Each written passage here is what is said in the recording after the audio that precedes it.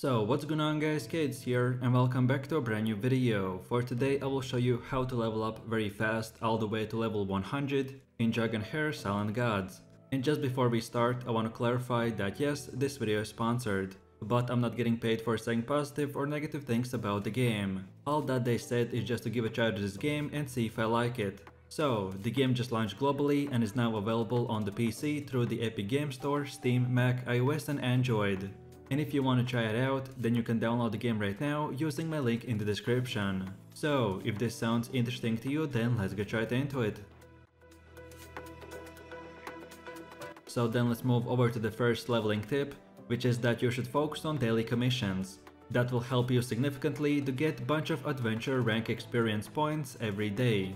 Daily commissions are the key to rapid progression in Dragonheir, and by completing these daily tasks, you not only earn a substantial amount of adventure rank experience points, but also they will open doors to a world of benefits. Your adventure rank will act as your overall level, which will determine your access to various game features and content.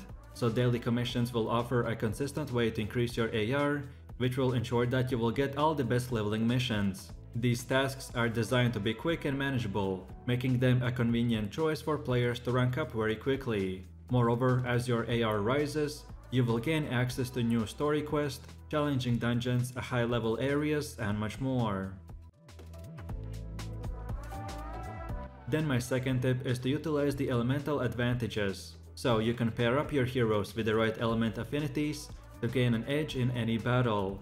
In different battles, different specific elements will boost your hero, so using heroes with a matching element can make your team stronger, thus making your fights easier and faster. And of course, this will mean that you will be able to level up much easier and quicker. In my personal experience, thinking about which heroes to bring based on the battle location and the enemies you will face is the key to beat any boss, because this game is all about using elements smartly to increase your team's chances of winning in any battle. Then next up we have the stamina optimization. So you can utilize your stamina wisely in Adenthia's dungeons to tackle challenges and earn valuable rewards such as XP potions, elemental crystals and equipment. But be very careful and make sure you don't forget about this and let excess stamina go to waste. On top of all of this, if you want even more stamina, you can consider investing in stamina bread, which will boost your stamina, and this will help you to outpace other players in Dragonheir.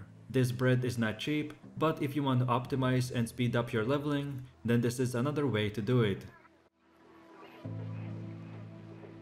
So then for the fourth tip we have that you should prioritize ranking up your heroes to the 3 stars, because doing this not only will unlock artifact equipment slots, but also will significantly boost their overall power. And once your hero reaches 3 stars, you can equip artifacts that will further enhance the abilities and tailor the strengths to your preferred playstyle. In my opinion, this is a crucial step towards making your heroes very powerful. So again, the stronger your hero is, the more battles you can win, thus you can level up and progress much faster. When it comes to leveling your heroes, there are two ways to do it. So first of all, when you're in combat and win encounters, you will gain deployed hero XP, which will give the heroes that are involved in the fight some XP towards leveling up.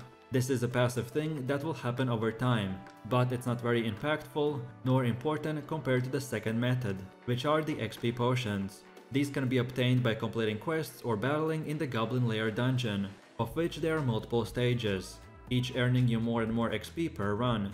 XP potions can also be purchased from the shop in game, and mainly this is the primary way of leveling your heroes very fast, because the XP required from each level will grow drastically. When farming goblin lairs for the XP potions, you will be rewarded with more potions based on how fast you can complete the stage you are on. And of course, this does cost energy, 10 per each run. And then, just before we continue, I wanna quickly guys introduce you to the Celestial Artanet summons. So from the 10th November to the 16th, you will be able to summon heroes by using the Heliolite dice, and because of this event you will get increased chance of getting very good heroes. In each few days this event will change, thus giving you the chance to get different heroes. So here you can see all the heroes that you will be able to summon. I personally will be going for the Durango hero, because I really want to try out the Exterminating Attack Ultimate, and because of our captain we will get 50% accuracy aura to all allies. Then as well, some other good heroes is the Irzilus, Twitch, and from the epic heroes, the Gladros. So guys, don't forget to participate in this event. And on top of all of this, you can guys go to the official Hair Facebook page and react and speculate about the second mysterious silhouette which will be soon unfolded.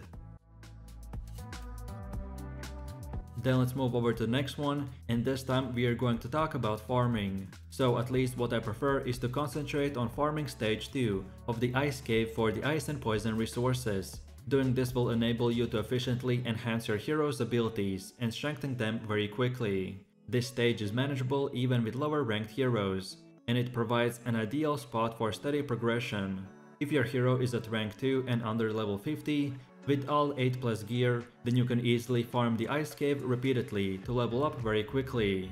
On top of all of this, when heroes reach certain level caps, they will need to be ranked up to the next star rating. This requires materials that can be obtained from the domain dungeons, with the higher star rating required materials from the later stages. And the earliest levels only require materials that are available from the very first stages. So during the tutorial of your first few minutes, you will encounter all three of the elemental domain dungeons, and by increasing your star rating, it will allow you to progress to a higher level on that hero, with the maximum level being of 100, which is a rank 5. So at level 30 a hero can be improved to a 2 star, and have their captain skill.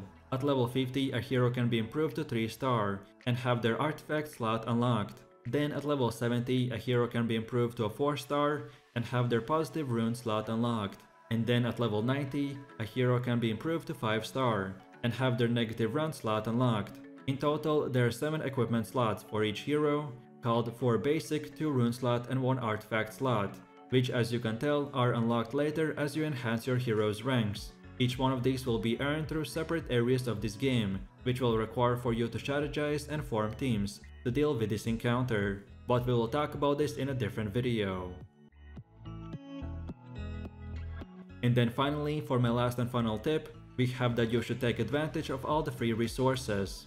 Artifacts which can significantly enhance your hero's power can be obtained through the in-game activities and quests. Then as well, duplicate heroes might seem redundant, but merging or using them for upgrades can provide a substantial boost to your team's capabilities. I usually keep an eye out for these free resources, so later I can collect them and then use it all at once, to speed up my hero progression and gain an advantage in the game.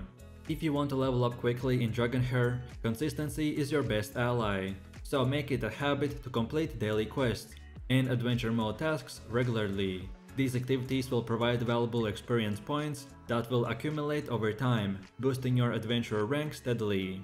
By staying committed to daily tasks, you will ensure a consistent flow of experience gains, which will ultimately speed up your hero's growth and you will advance through the game's content a lot faster, and that's about it.